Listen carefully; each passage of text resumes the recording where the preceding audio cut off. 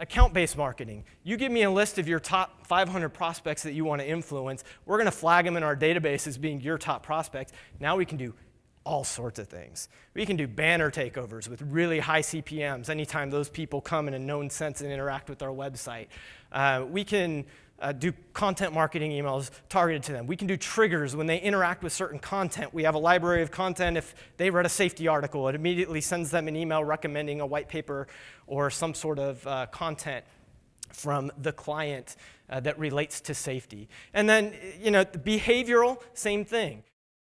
We have absolutely gotten the door at people who have had the door closed to us for many years, um, who just wouldn't see us, wouldn't return phone calls, when we tell them that we have age-related data that will show them how uh, the, uh, our market and, and their, their prospective uh, buyers are consuming information today, and we can tell them how that breaks out by age group. We get our phone calls returned, we get a meeting.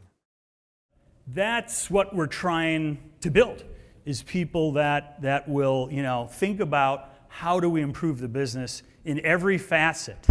Um, and so that's what I mean by building this culture of innovation. People that want to do. It. That's an MMS. MMS, you guys know. SMS is straight text. MMS is video and audio through the text stream. It's through that same texting stream in your phone. And uh, you can deliver uh, audio, video up to a minute. And so we create clickable uh, banners right on top of our content, and it's from a sponsor. Uh, and then other times we send what is the equivalent, we call it a T-blast, a text blast, but it's the equivalent of what you'd call an e-blast. And so we can take our list of 95,000 opt-ins, and you guys want to sell your chemical to big farmers on the west side of Iowa, we'll find those 7,000 phones and deliver that message to them today. Uh, we get into branding opportunities, lead gen, strategic marketing services, and everything is centered around our database.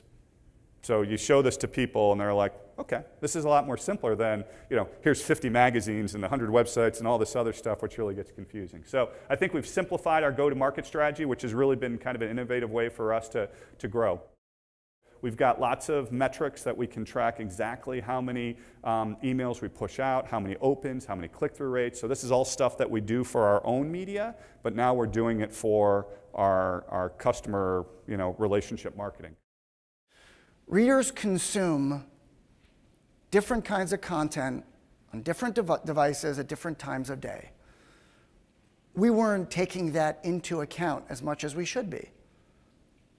But it really does matter. It really does matter. And you think through the implications of that, you start to make some different decisions. There are new tools to measure engagement. You can track and deduce more about your readers than ever before. Are you doing that? And our ability to uh, manage change fosters a goal oriented culture. Again, um, at every level of the strategic process, Documents are being produced with goals. Everyone is goal oriented as a result. It's communicated throughout the organization. Fosters risk taking entrepreneurship. Culture of constant improvement